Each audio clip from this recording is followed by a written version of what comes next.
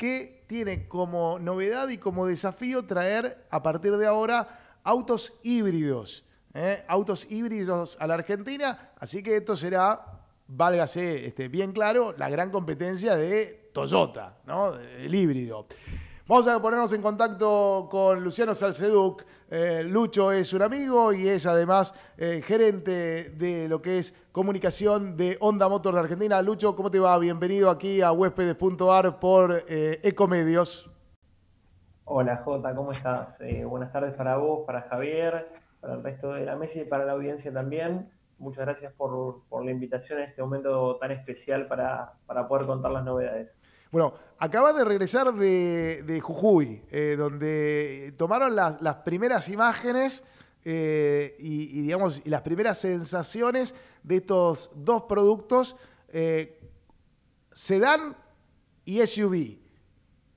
¿Qué, digamos, ¿Qué generación estamos hablando de cada uno de, estos modelos, Lucho? Bueno, J, hoy literal, recién, recién llegados, tuvimos la presentación en Argentina eh, de la CRB, nuestra SUV emblema histórica, las seis generaciones acá en Argentina está llena por la calle, seguramente muchos la conocen o la habrán manejado o se habrán subido, y también del Civic, otro auto icónico, en este caso la generación número 11, que ahora llega a la Argentina en, formato híbrido, al igual que CRB. Eh, para nosotros es un momento muy importante, eh, es la primera vez que vamos a comercializar este, productos con esta tecnología híbrida. Eh, te cuento, J, y les cuento a, todos, Honda ya desde hace muchos años, en 1999 empezó a comercializar el primer híbrido del mundo. Eh, tiene una experiencia, una historia muy amplia eh, en este tipo de tecnologías. para los que no saben, Honda fabrica, es el, el, número uno fabricante de motores a nivel mundial y no solo hace autos, sino también motos, productos de fuerza marina e inclusive hasta jets.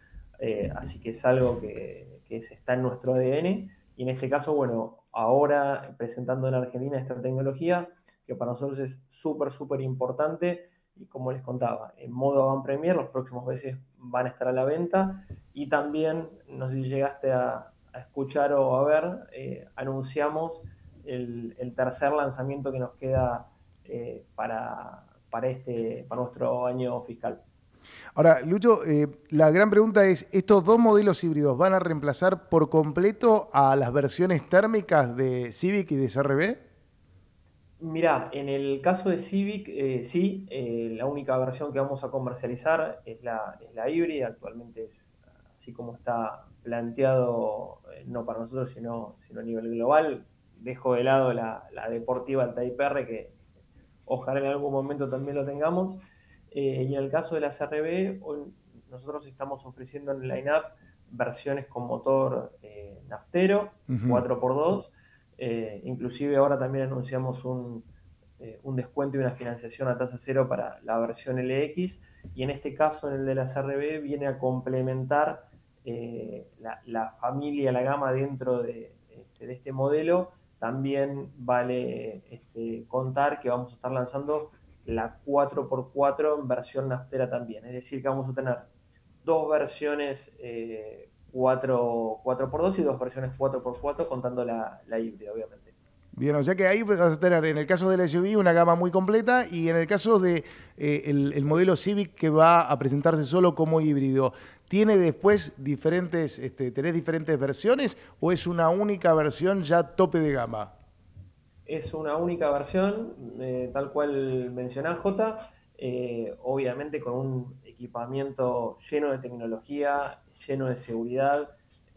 bueno, es un tema que también no solo el objetivo de cero emisiones y de eh, ayudar a, la no contaminación, ese es uno de los, de los pilares y el otro es la seguridad en onda y son dos modelos que, claramente van a posicionarse como referentes eh, dentro de su segmento y sus competidores eh, en este punto también.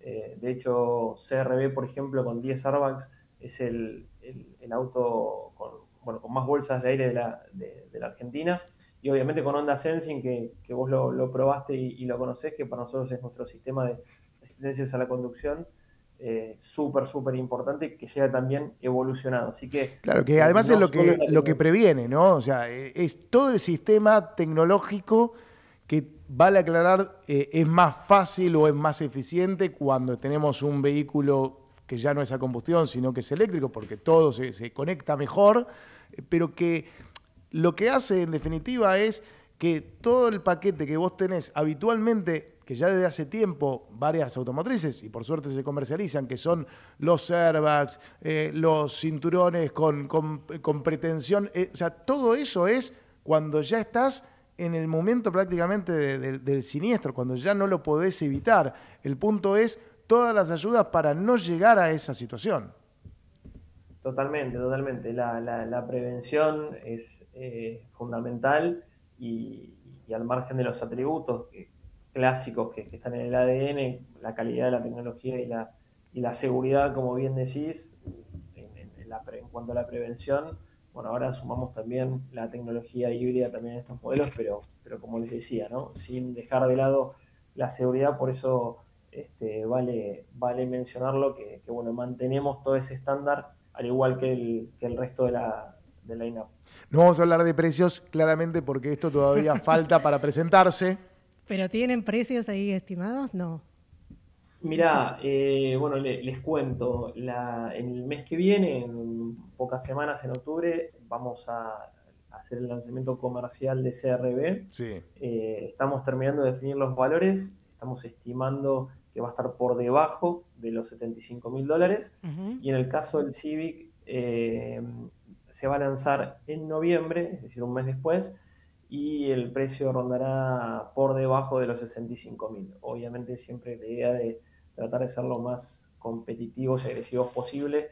Pero no has pegado un, salto tan grande del, Civic que tenés hoy, digamos, que es térmico, a, una, a una generación completamente nueva eléctrica. O sea, no parece ser una, una distancia tan grande para pasar a, a, un cambio tan grande en lo que tiene que ver con la conducción.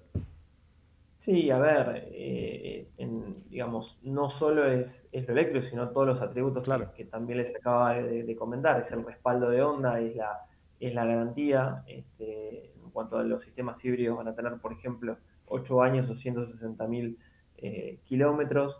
Eh, y bueno, y en definitiva, es un cliente, nuestro cliente es exigente, sabe lo que, lo que el producto representa, lo valora, y bueno, y es por eso que, que, que nos elige. Por suerte, también J, este y, al resto del equipo les, cuento que estamos teniendo un muy buen año comercial eh, en cuanto a cantidad de, unidades vendidas. El año pasado terminamos en 1.300, nosotros contamos este, estos datos en nuestro año fiscal, es decir, que va desde abril a marzo y proyectamos terminar el próximo abril en 2.800, que significa más del 100% de, de, crecimiento y para nosotros y para la división de autos es eh, un logro súper importante que, bueno, con los híbridos la idea es seguir potenciando, seguir ampliando y diferenciándonos y, creciendo obviamente también. Yo te voy a llevar al plano más turístico porque de motores no podríamos conversar, pero sí, digamos, eligieron una provincia emblemática con unos paisajes divinos. Contanos un poco de, digamos, de esas rutas y ese camino donde eligieron presentarlo.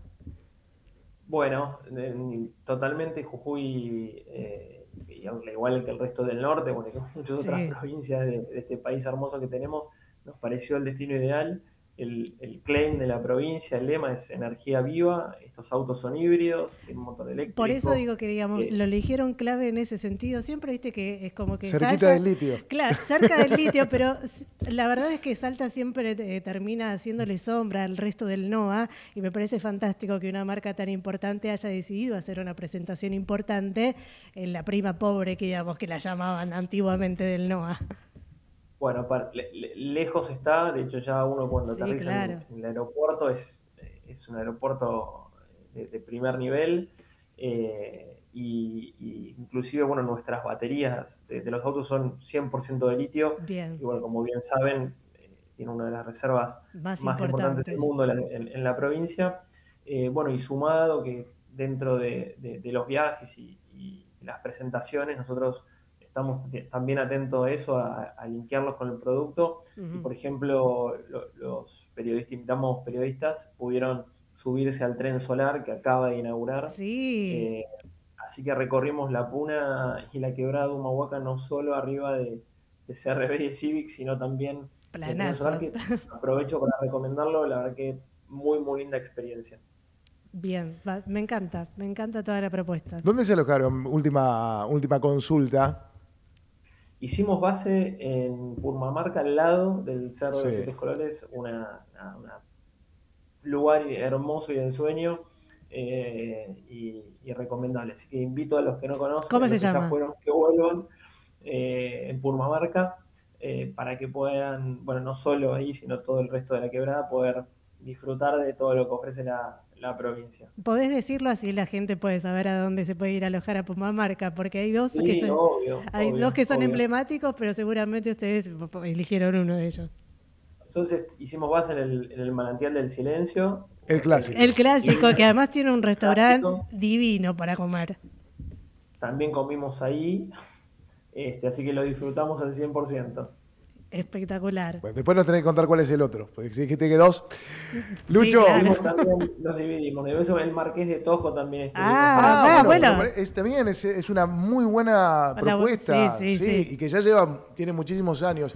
Lo que tuvo Purmamarca fue un desarrollo muy interesante de, de tener alojamientos cuidados. O sea, cada, cada nuevo inversor que, que llegó lo hizo entendiendo dónde se estaba, digamos, dónde estaba invirtiendo, dónde se estaba metiendo.